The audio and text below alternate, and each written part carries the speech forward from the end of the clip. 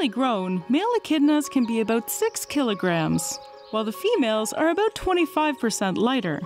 They can live up to 15 years in the wild, but there have been reports of echidnas living for over 40 years, which is possible due to their low metabolism.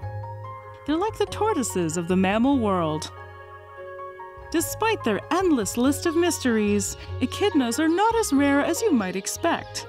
They have a massive range, and despite threats from invasive species and habitat destruction, their populations are waddling strong.